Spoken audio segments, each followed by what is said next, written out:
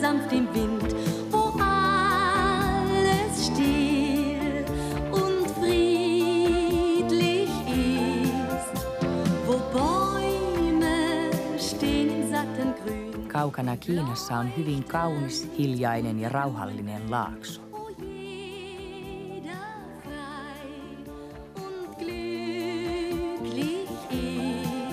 Siellä asuu Tao Tao, pieni pandakarhu emonsa pandamuorin ja kaikkien ystäviensä kanssa.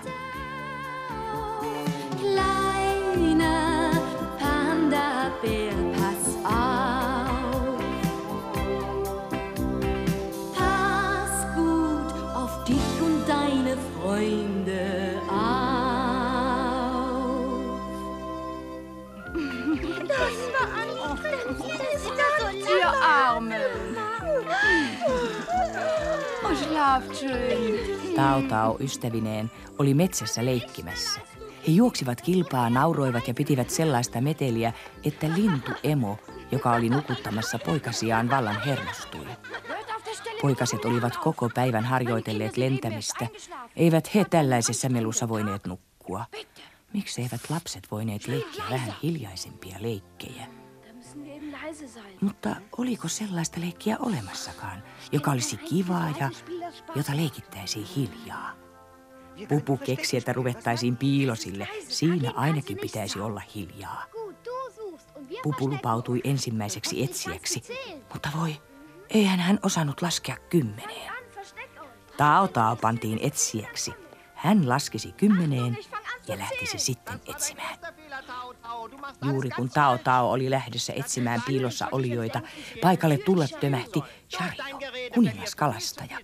Ivallisesti se sanoi, että Tao Tao teki kaiken aivan väärin. Laskemiseenkin tuhlautui aivan liikaa aikaa. Piti olla nopea ja ovela. Kas näin? Kiki parkaisi ja ilmaisi samalla olin paikkansa. Chario sanoi mahtailen, että kaikki oli helppoa, kun vain osasi konstit. Ja Chario totisesti osasi.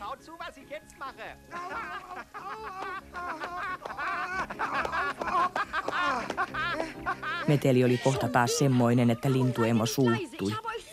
Tao Tao pyysi anteeksi kaikkien puolesta, eikä kukaan ollut kutsunut Chariota mukaan leikkiin. Itse se oli mukaan ängennyt ja pilannut kaiken. Minne ikinä se ilmestyikin, sinne se toi riitaa ja toraa. Ich wollte euch nur beibringen, wie man richtig Silloin saapui panda muori paikalle katsomaan, mikä nyt oli hätänä.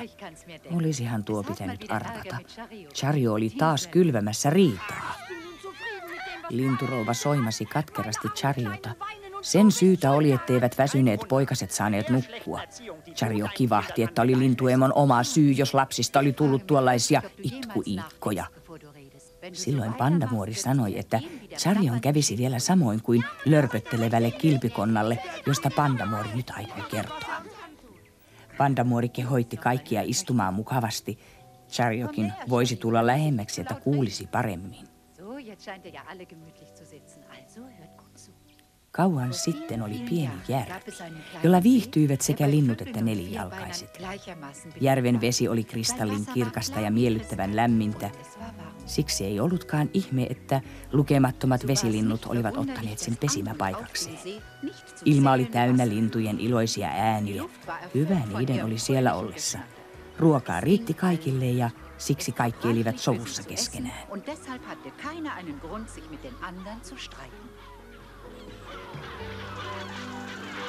Komm, Kleines. Keväisin, kun uudet poikaset ilmaantuivat pesiin, järvellä oli suorastaan tungosta. Silti joka vuosi tuli lisää lintuja, jotka olivat kuulleet kerrottavan järvestä ja sen ihanuudesta. Linnunpesien luku kasvoi vuosi vuodelta ja järvellä riitti vilinää ja vilskettä. Mutta ei se ketään häirinnyt, ennen kuin järvelle saapui täti Kilpikonna. Kilpikonna oli herännyt kesken oikein makoisan unen ja harmitteli vähän. Olisihan tuota saattanut katsella pidempäänkin. Mitä tuo aurinkokin taas porotti tuolla lailla, johan se oli paistanut päiväkaupalla. Ei kilpikonnalla ollut mitään aurinkoa vastaan sinänsä. Mukavahan se oli siinä helottamassa, mutta liika oli aina liikaa.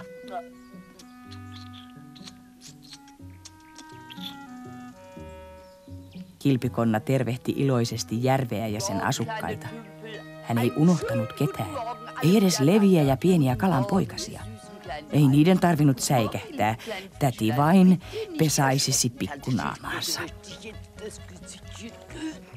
Raikas vesi teki niin hyvää silmille, että oikein. Kilpikonna jatkoi yksin puheluaan. Linnunpoikaset nauraa kihersivät.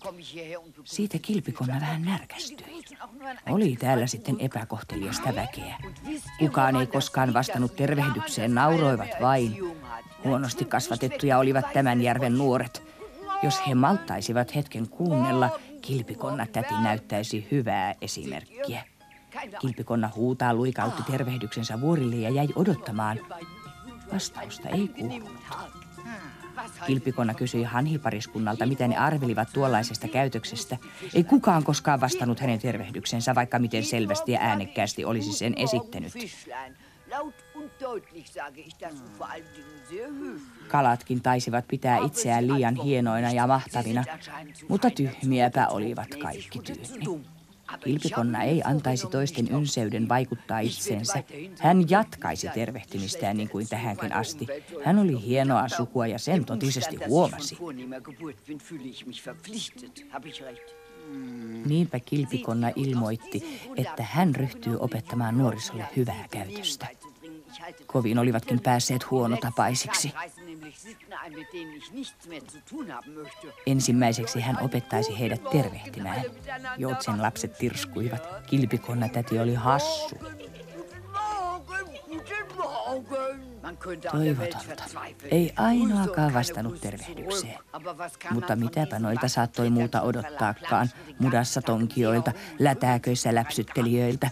Rahvasta ne olivat ja rahvaalla oli rahvaan tavat. Hautoivat itse munansakin, vaikka hyvin tiedettiin, että auringossa ne hautuivat itsestäänkin. Kilpikonna kiirehti toivottamaan hyvät päivät hanhiperheelle. Poikaset pelästyivät ja Pikaisivat pakoon. Mitä nyt noihin?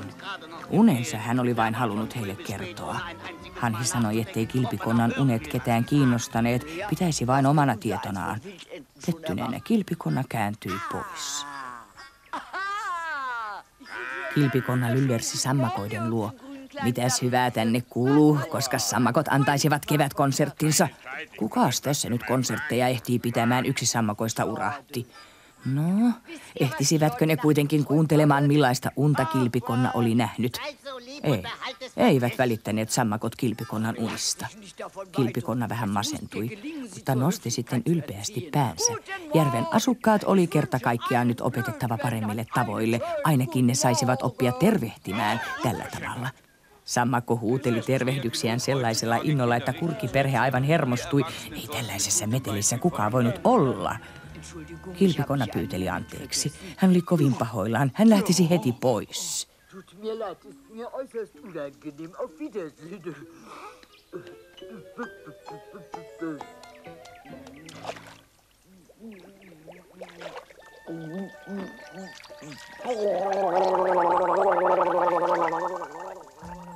Tätä jatkui päivästä toiseen. Kilpikonna kulki yhden luota toisen luo ja koko ajan virtasi vuolas puhe Tulvasen suusta. Hän sekaantui joka asiaan ja häiritsi jokaista ajattelemattomilla puheillaan.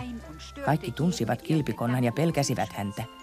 Ehkä hänen olisi kuitenkin aikaa myöten totuttu, mutta sitten tapahtui jotakin odottamatonta. Järvi alkoi uivua. Das alles ändern sollte. Der See trocknete aus. Eläin toisensa jälkeen muutti muualle. Mitäpä ne enää järvellä olisivat tehneet nälkää näkemässä?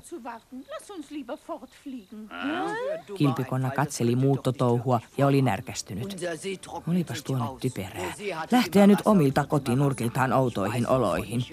Mitäs siitä, jos vesi oli hiukan laskenut? Ei tätä kauan kestäisi kumminkaan. Tokihan Kilpikonna sen tiesi. Täällä ikänsä asunut. Hanhi huokasi. Hän olisi niin mielellään uskonut kilpikonnaa, mutta ei voinut. Kaikki muut vesilinnut olivat jo lähteneet. Siksikö täällä olikin niin hiljaista? Kilpikonna olikin jo ihmetellyt. Hanhi sanoi, että järvi oli jo mennyt ja jokikin kuivuisi kohta. Viisainta olisi kilpikonnankin muuttaa pois ennen kuin olo kävisi liian tukalaksi. Kilpikonna intti, ettei vesi mitenkään voinut kokonaan loppua. Kohta sitä tulisi taas. Hanhet yrittivät puhua kilpikonnalle järkeä, mutta sitten nekin kohosivat siivilleen ja lensivät pois. Tyhmyys ei lopu maailmasta, kilpikonna tuumi hanhien menoa katsellessaan. Hätiköivät aivan turhaan. Vai olivatko ne kyllästyneet asumaan samalla järvellä ja halusivat vaihtelua? Naurettavaa. Mutta eihän täällä ollut enää ainoatakaan puhetoveria. Kukaan ei vastannut kilpikonnalle. Mutta eiväthän eläimet ennenkään olleet välittäneet vastata hänelle, niin että yhtä hyvin saattoi elellä yksinäänkin. Joka tapauksessa toiset eläimet olivat raukkoja ja pelkureita säikättäessään pientä kuivuutta. Jokin kopsahti kilpikonnan päähän. Pieni rapuhan se oli. Se oli eksynyt emostaan ja oli kovin surkea. Kilpikonna alkoi lohduttaa pikkuista, täti kyllä veisi sen kotiin, jos vain se sanoisi, missä päin se oli. Hän tunsi järven kuin oman kilpensä. Ei osannut pikkurapu sanoa, missä koti oli. Emo ja sisarukset olivat lähteneet kulkemaan jokea ylöspäin, mutta pienokainen ei löytänyt edes joen suuta. Tällä oli pelottavaa. Vettä ei kohta olisi pisaraakaan ja järvikin kuivuisi kokonaan. Kilpikonna huokasi. Juttelutoveria hän oli kyllä kaivannut, mutta miksi sen piti olla juuri tuo parkuva ravunpentu? Kilpikonna lupasi pienokaiselle, että hän lähtisi viemään sen emonsa luo, mutta tuon parkumisen oli ensin loputtava. Eikä rapu saanut kertaakaan nipistää saksillaan, muuten matka loppuisi tähän. Poikainen lupasi olla kunnolla, kun vain päästäisiin matkaan. Gleich. Matkan pituus kauhistutti kilpikonnaa. Hän joutuisi kukaties kulkemaan aina vuoristojärvelle saakka ja siihen menisi kyllä vuosia. Kilpikonna katui jo pikkuravulle antamansa lupausta. Kuitenkaan hän ei voinut sitä rikkoakaan, sillä hän ei halunnut jättää pienokaista pulaan.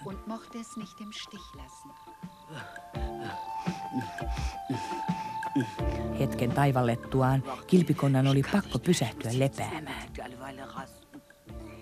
Rapulapsi patisti häntä liikkeelle. Kilpikonna sanoi, että hänen oli säästettävä voimiaan. Hän oli jo vanha. Jalkoja väsytti ja kilpi painoi selkää raskaana kuin vuori. Rapulapsi oli ihmeissään. Vastahan he olivat tehneet taivalta puoli päivää ja kilpikonnan voimat olivat tyystin lopussa. Eivät he ikinä pääsisi perille. Ohilentävä kurki pysähtyi kysymään, mitä rapu ja kilpikonna vielä täällä tekivät. Kaikki muut olivat lähteneet aikoja sitten. Kilpikonna kysyi, olivatko kurjet nähneet vettä missään. Olihan toki laaksossa, vuorten takana oli järvi. Vai siellä asti. Kilpikonna pyysi, että linnut ottaisivat ravun kyytiinsä, että lapsi pääsisi emonsa luo. Ei kilpikonnasta ollut sen viejäksi. Matka oli aivan liian pitkä. Hän kuolisi kai ennen pitkää janoon. Mutta minkä sille mahtoi? Vai voisivatko kurjat ottaa hänetkin kyytiinsä? Sen kurjat lupasivatkin tehdä oikein mielellään. Kilpikonna ei ollut uskoa korviaan. Kurjet vakuuttivat, että tehtävä oli heille aivan helppo. Kilpikonna alkoi arveluttaa, uskaltaisikohan hän lintujen kyytiin lähteä. Kurjet vakuuttivat, ettei pelkoon ollut syytä. Kilpikonnan pitäisi vain tarttua hampaillaan lujasti keppiin. Kilpikonna epäröi, mitenkähän tuo onnistuisi. Kurjet sanoivat, että matkan teko sujuisi oikein mainiosti, jos vain kilpikonna muistaisi pitää suunsa kiinni ja hampaansa kepakossa. Mutta miten rapulapsi matkustaisi? Toinen kurjista sanoi, etteivät ne mitenkään voineet ottaa kuljetettavakseen molempia. Kilpikonnassa oli jo aivan tarpeeksi kuormaa. Ehkä rapusentää voisi päästä mukaan, olihan se niin kovin köykäinen. Kilpikonnalle kurjet vielä kerran sanoivat, että puhelu matkan aikana olisi ehdottomasti kielletty. Kyllähän kilpikonna sen ymmärsi. Jos hän avaisi suunsa ja yrittäisi sanoa jotakin, hän menettäisi otteen kepistä ja putoaisi.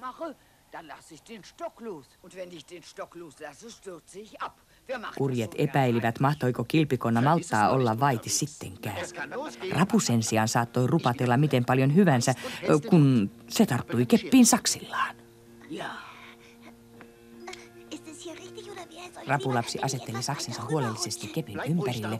Kurjet tarkastivat vielä, että matkustajat olivat varmasti valmiina. Sitten he nousivat ilmaan.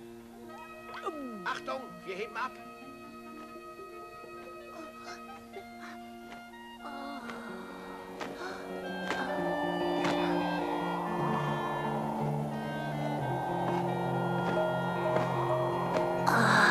Wie schön die Erde von hier oben aussieht. Ihr Vögel seid wirklich zu beneiden.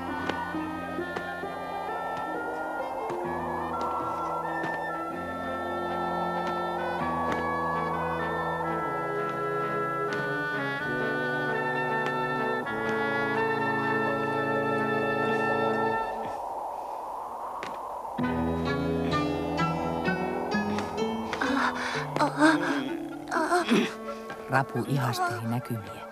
Lintujen kelpasi, kun saivat aina tällaisia näkymiä ihailla.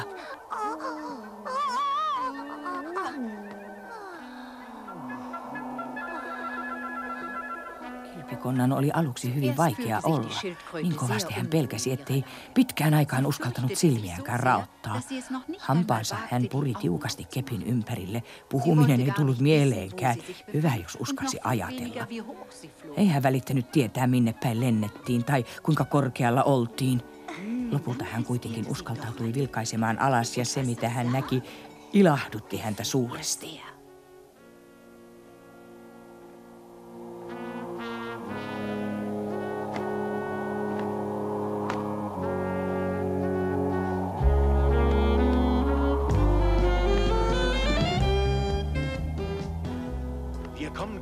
Myötätuuli ja matka taittui nopeasti. Kurjet muistuttivat jälleen, että kilpikonnan oli pidettävä suunsa kiinni. Järvelle ei ollut enää pitkä matka. Kyllä kilpikonnan pitäisi sinne asti malttaa mielensä. Kurjet lensivät joen uomaa seuraten. Mitä kauemmin matka jatkui, sitä paremmaksi kävi kilpikonnan olo. Oli niin kovin kevyttä ja huoletonta lentää ilmojen halki.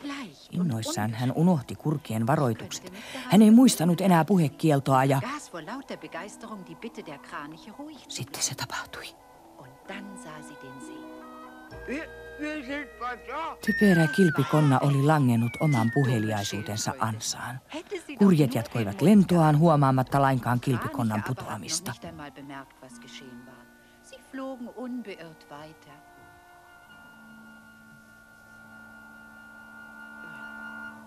Turhaan kilpikonna huuteli niiden perään, kurjet menivät menojaan.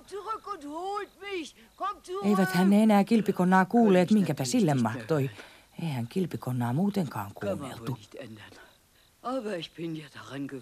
Eikä täällä tietenkään ollut ketään. Korkeintaan kova kuoriainen tai muurahainen, niitähän oli kaikkialla.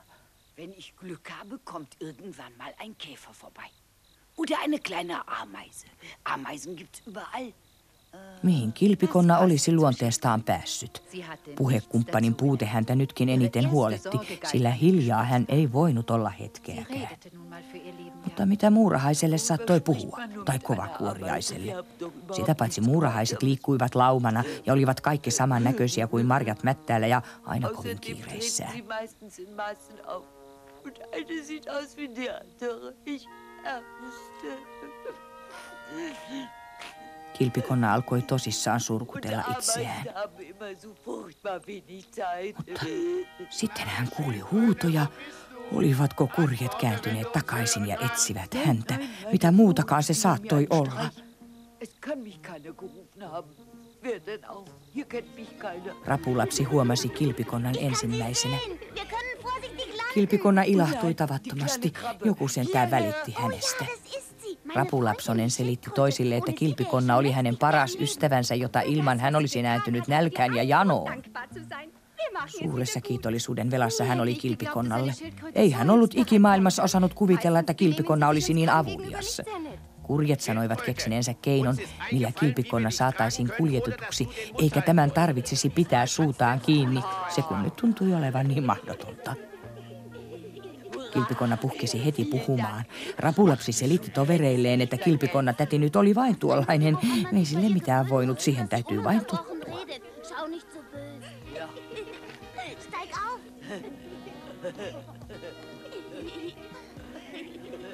Matka jatkuu jälleen. Ordentlich festhalten. Wir gewinnen an Höhe. Kilpikonna kiitteli moneen kertaan auttajiaan. Sitten hän alkoi vuolaasti ylistää lentämisen ihanuutta ja maisemien kauneutta.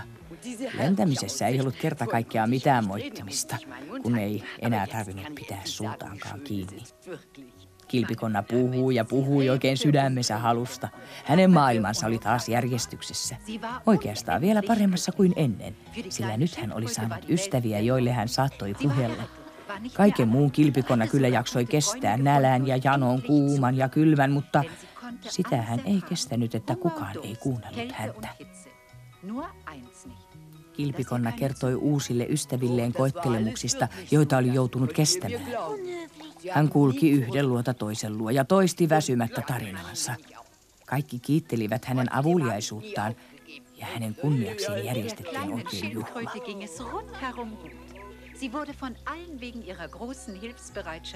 Hän puhua pulputti edelleenkin, mutta nyt hän oli oppinut, että teot merkitsivätkin enemmän kuin kauniit sanat. ja että piti joskus pysähtyä ajattelemaan ennen kuin puhui. Kun pandamuori lopetti kertomuksensa, aurinko oli jo mennyt mailleen. Linnunpoikastekin oli jo liian myöhäistä harjoitella lentämistä. Kuningaskalastaja sanoi, että kilpikonna oli ollut aivan oikeassa alusta lähtien. Hän oli ollut viisaampi ja tietävämpi kuin kaikki muut. Hän osasi kaiken. Toiset väittivät kiivaasti vastaan ja sanoivat, että kuningaskalastaja oli itsekin tyhmä, kun tuollaista väitti. Kuningaskalastaja myönsi lopulta, että ehkä kilpikonnossakin oli moitteen sijaa, mutta hyvähän hän oli vain tarkoittanut.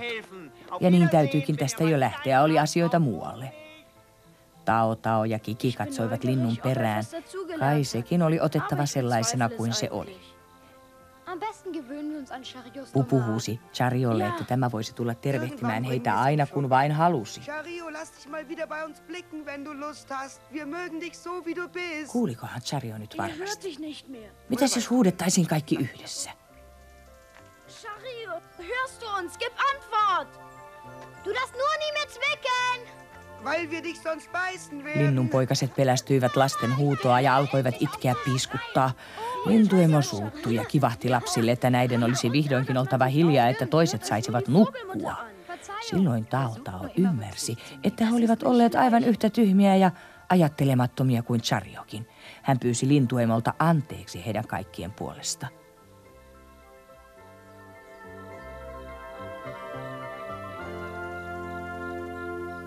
Kun lapset seuraavan kerran tulevat luokseni kärttämään tarinaa, kerron heille kenties ankkamuorista, joka monta viikkoa hautoi kärsivällisesti muniaan. Munista kuoriutuikin jo poikanen, mutta yksi antoi odottaa itseään muita kauemmin. Kun poikainen vihdoin kuoriutui, se oli aivan erinäköinen kuin toiset. Sitä pidettiin hirveän rumana ja tieto rumasta ankanpoikasesta levisi tuulen nopeudella koko karjapihaan. Ennen pitkää poikanenkin alkoi uskoa olevansa rumaa ja päätti lähteä pois. Se luuli, ettei kukaan koko maailmassa voisi sitä sietää. Miten sen asian laita oli, sen kuulitte varmaan ensi kerralla. Und genau davon werde ich das nächste Mal erzählen.